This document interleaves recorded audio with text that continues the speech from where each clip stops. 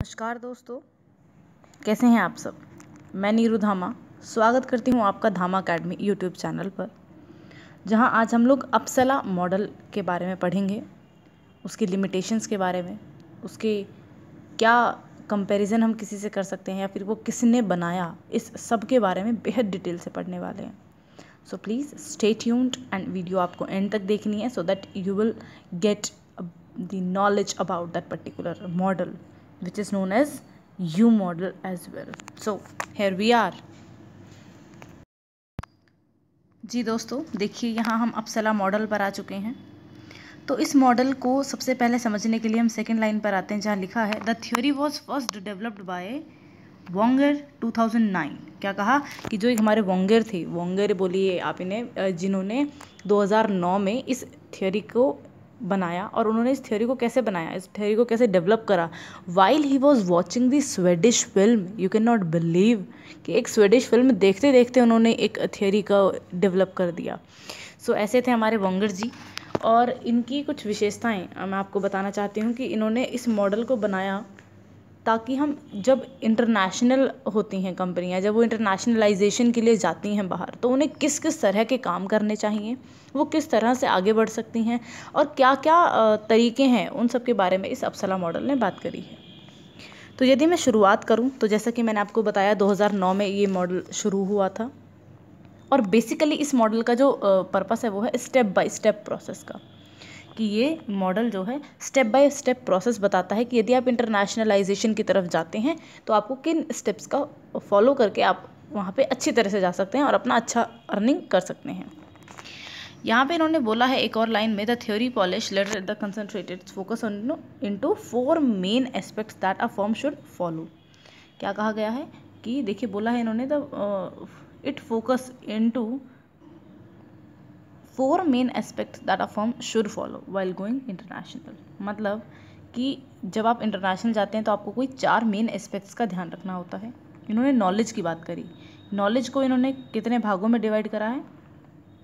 The knowledge of the market commitment second paragraph में हम हैं the knowledge of the market commitment from this theory help the management of the emerging firm to succeed in the business enterprise and to become internationalize दो तरह की इन्होंने knowledge बताई हैं, जो कि हमने अगले मॉडल पढ़ते हैं कि according to this model there are two type of knowledge पहली नॉलेज का नाम दिया है इन्होंने ऑब्जेक्टिव नॉलेज पहली नॉलेज का नाम क्या है?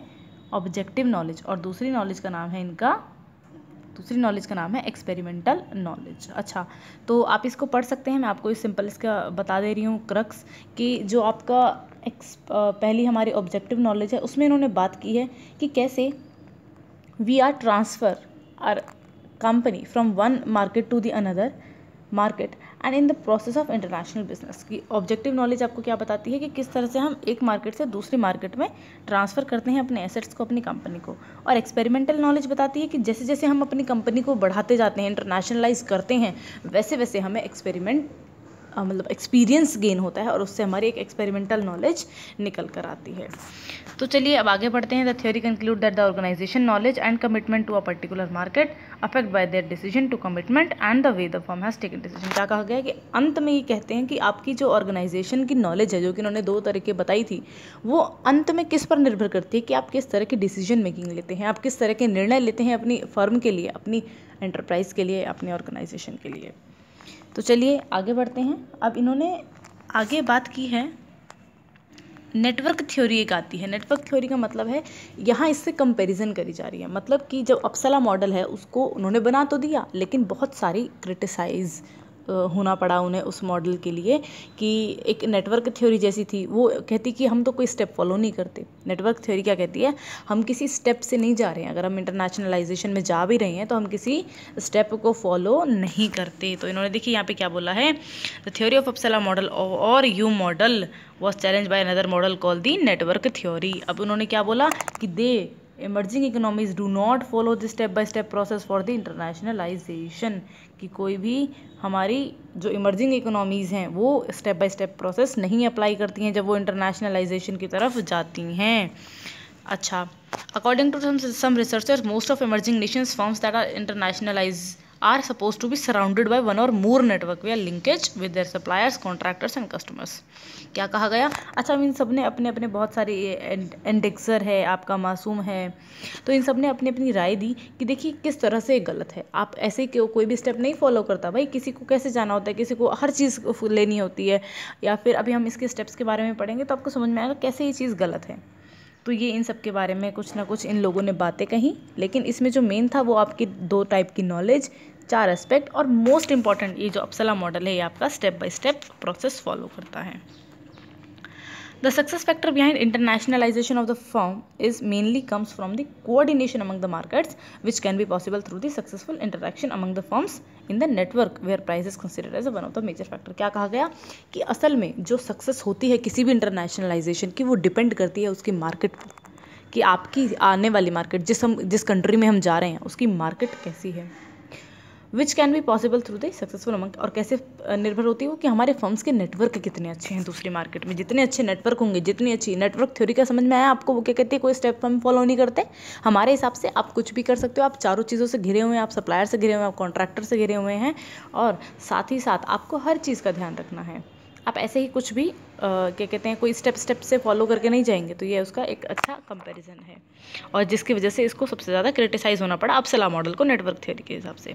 अच्छा अब उसके इंटरनेशनलाइज मॉडल क्या है, और उसके कुछ हम वो पढ़ेंगे लिमिटेशंस लेकिन उससे पहले देखिए, ये हैं इनके स्टेप जो कि बहुत इंपॉर्टेंट है। स्टेप नंबर वन कहता है नो रेगुलर एक्सपोर्ट एक्टिविटीज़ क्या कहता है? स्पॉरेडिक एक्सपोर्ट कहा गया है इन्होंने, कि हमें सबसे पहले कोई एक्सपोर्ट एक्टिविटी नहीं करनी है। उसके बाद एक्सपोर्ट किससे करना है? इंडिपेंडेंट रिप्रेजेंटेटिव से करना है। स्टेप थर्ड बताता है, फिर हमें वहाँ पर जाके फॉरेन सेल्स सब्सिडरी खोलनी है और उसके बाद हमें वहाँ मैन्युफैक्चरिंग शुरू करनी है। तो अब इसमें क्वेश्चंस किस तरह से आए? कि इन्होंने फोर स्टेप बता दिए कि आपको ऐसे ऐसे जाना है। यही है फोर स्टेप्स आते हैं क्वेश्चन तो आप इनको कर सकते हैं। मैं आपको इसका एक अच्छा सा फ़ोटो भी दूँगी ताकि आप इसको स्क्रीनशॉट ले सकें। देखिए, ये जो इन्होंने अपने चार मॉडल स्टेप्स बताए, उससे क्या फ़ायदा हुआ और उससे किस तरह से इंटरनेशनलाइजेशन पॉसिबल होगी? तो देखिए, इन्होंने कहा है, ये आपकी मार्केट ए से लेके मार्केट एन तक है और यहाँ हमारे वो चार स्टेप हैं जो कि इन्होंने फॉलो करने के लिए कहा था। पहला कहता है कि नो रेगुलर एक्सपोर्ट जब ऐसा होगा, यहाँ से हम शुरू कर रहे हैं, हमारा कोई एक्सपोर्ट नहीं है, देख रहे हैं आप पॉइंट से। उसके बाद इन्होंने ये मार्केट ए है। मार्केट से किस तरह से इंटरनेशनलाइज हो रहे हैं? मार्केट ए से लेके market B market C market D में जा रहे हैं, अपना जोग्राफिकल डाइवर्सिफिकेशन ये लोग जो हैं, बढ़ा रहे हैं।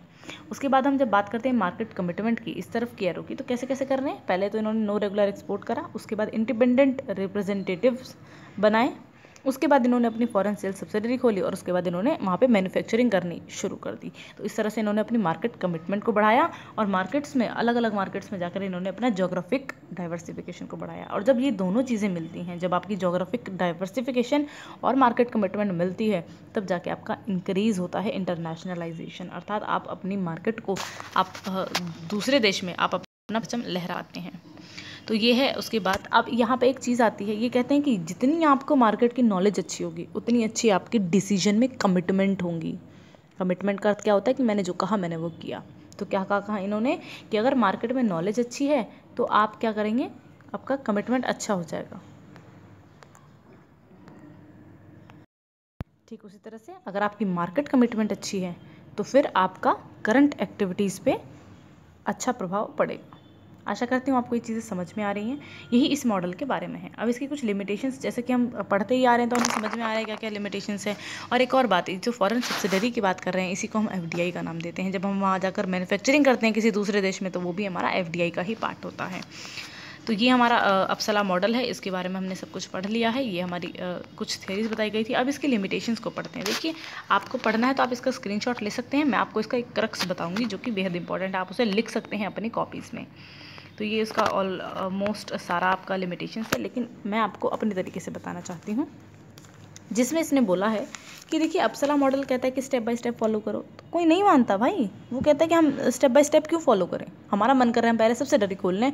अगर हमारा मन करेगा हम नो एक्सपोर्ट वाली जो आपकी स्टेप है, उसको सबसे लास्ट में ले आएँ, या हमारा मन कर रहा है हम उसको ले ही ना तो ये हमारे ऊपर है कि अगर हम कहीं बाहर जा रहे हैं तो हम उसे किस तरह से लेते हैं? और एक और इसका ड्रॉबैक क्या है कि मैनेजमेंट इंसेंटिव की बात नहीं करता है। ये मॉडल मैनेजमेंट इंसेंटिव की बात नहीं करता है, जो कि बेहद ख़राब बात है। और हमारे एक, जब हम बाहर जाते हैं तो हमारे लिए डिसीज़न मेकिंग कितनी इंपॉर्टेंट है और उसमें अगर हम मैनेजमेंट इंसेंटिव की बात ना करें तो वो डिसीज़न पे कहीं ना कहीं बेहद इंपॉर्टेंट अफेक्ट पड़ता है, जो कि एक गलत इफ़ेक्ट है। तो इसलिए हमें मैनेजमेंट इंसेंटिव को यहाँ पर लाना चाहिए था, जो कि इसमें नहीं है। एक और चीज़ है ignore some other forms of market entries अच्छा इन्होंने क्या किया? सिर्फ़ एफडीआई का नाम ले लिया। अरे भाई फ्रेंचाइजिंग भी तो कोई चीज़ होती है। लाइसेंसिंग जैसी भी तो चीज़ें हैं, वो इन्होंने कोई डिस्कस नहीं करा। कि हम रॉयल्टी लेकर या फिर हम लाइसेंसिंग लेकर भी जाकर इंटरनेशनलाइजेशन कर सकते हैं। तो ये इनका एक और सेकंड ड्रॉबैक है। क्या बताया मैंने? पहला, आपका स्टेप बाय स्टेप फॉलो हम नहीं करते भाई, हमारी मर्ज़ी। सेकंड क्या बताया? इन्होंने मैनेजमेंट इंसेंटिव को नहीं ध्यान में रखा। थर्ड चीज़ से हमने क्या बताया कि और जो मार्केट के और भी मतलब अदर फॉर्म्स ऑफ़ ग्लोबलाइजेशन है, उनको इन्होंने इग्नोर किया, जैसे कि फ्रेंचाइजिंग और licensing last but not the least वही चीज़ें आ रही हैं कि हम क्यों फॉलो करें कंपनी के स्टेप्स को? Why should we follow these steps?